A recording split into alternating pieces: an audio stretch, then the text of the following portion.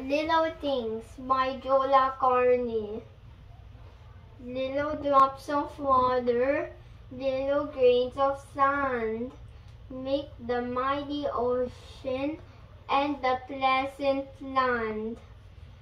So, so the so our little moments, humble do they be, make the mighty ages of